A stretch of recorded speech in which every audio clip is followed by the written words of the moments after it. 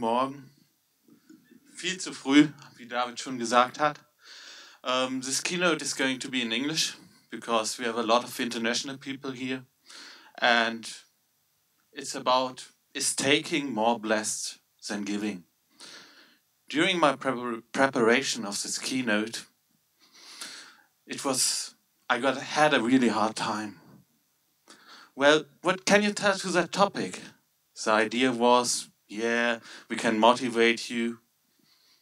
We can tell you you should join Joomla, you should work for us. But you all heard that. There's a new Joomla recruitment team with my good friend Victor here, who is looking for new members. But it's really hard to tell something which you don't know. Because we are 200 people here in this room, and most of you are participate, do participate, do participate at Joomla events.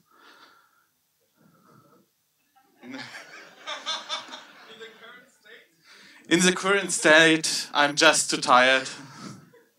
and it's hard to talk when you're tired because you didn't sleep, because you drink too much with your good friends here. So for most of you, it's not your first Joomla day. In the last years, we often heard Joomla is dead, that we are fighting windmills. And yeah, we are all a bit stressed and depressed sometimes. Joomla has millions of websites and a lot of people making the living out of that. Most of you here in that room.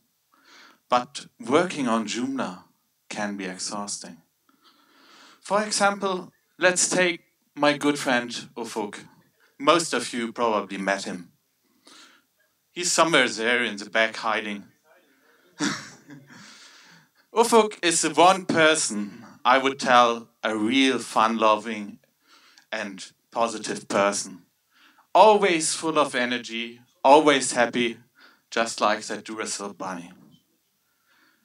But then he became the marketing team leader of Joomla.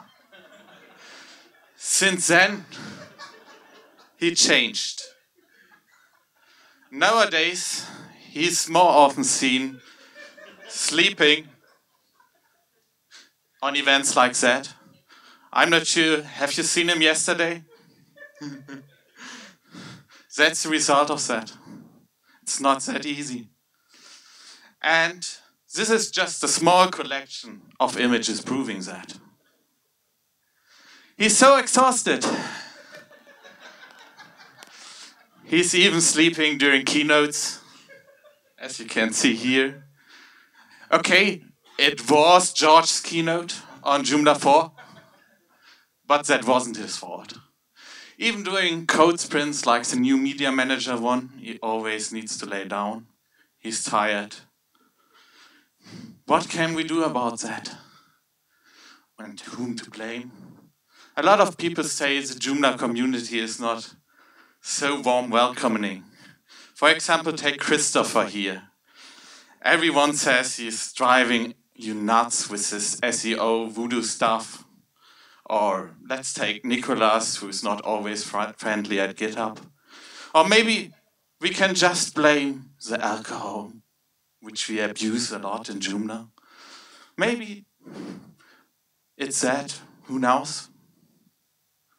Or maybe it's a board who decided for a new Joomla vision slogan. Uh, I need to read that. Joomla, the Joomla, the powerful platform, no, the flexible platform, empowering website creators. That's what the board decided as new target group, new focus, new vision. And Ufuk is really working hard on implementing that idea. They got a total new direction, not anymore end users, but agencies, integrators, like most of you here are. So he's working hard getting that team up and running again. He's thinking all the time on what can we do the for Joomla. He tries to get new people in. I'm sure he talked with most of you already here and said, You need to join us, we need your help. He's the big minion for all of you. Because when Joomla shines, you shine too. And all the tasks that are needed to run Joomla are just on a really few people, less people than here in the room. Maybe around 50 people make Joomla happy, happen. There are a lot of people who contribute translations or single pull requests. But the base amount of work in Joomla is really just on a small core team. And they bear all the responsibility to make Joomla happen. And that's not an easy task. When Robert, for example, pushes something, pushes a new release, and it breaks your sites, everyone is good at yelling and screaming at him that we fuck up and that we are really stupid and we don't know what we are doing. But when it's on testing a pre-release, that's not really done, and most people are not helping. So, to say it with Dr. Joomla's words, you are not depressed. Your life is just crap. So, what can we do about that? What should we do? It's really hard. And you see, we are all a bit depressed.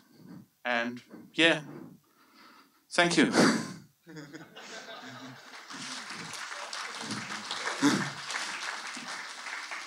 One more thing.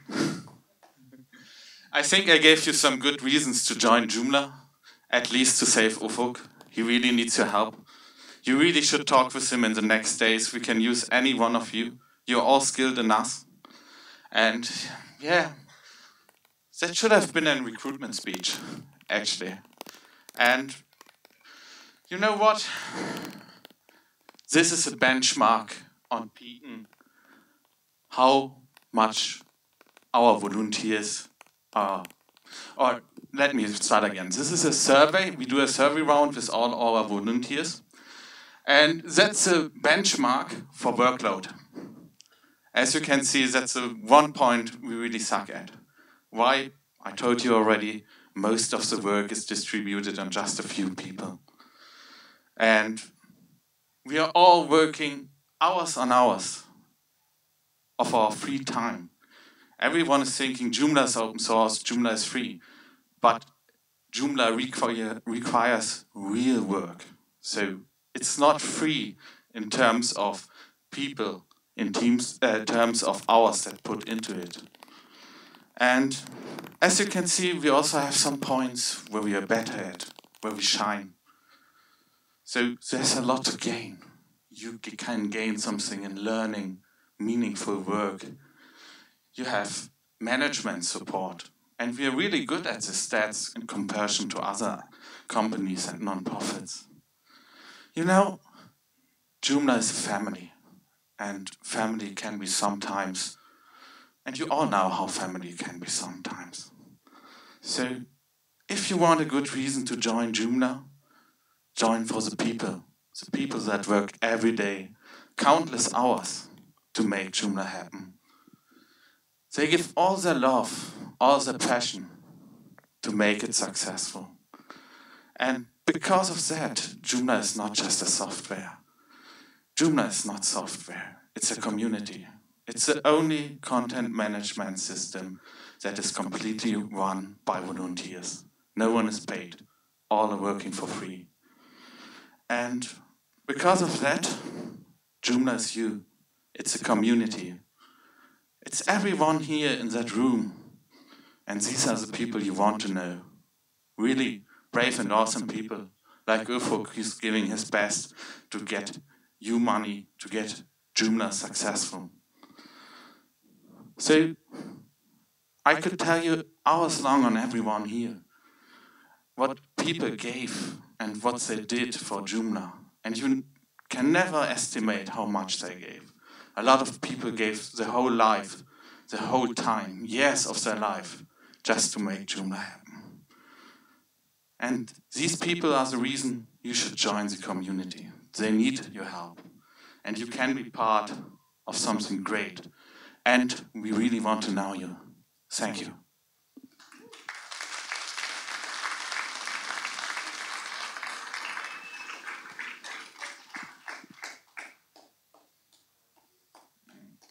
So, what next? David? Ja, was gibt's denn Schönes, Stefan, jetzt?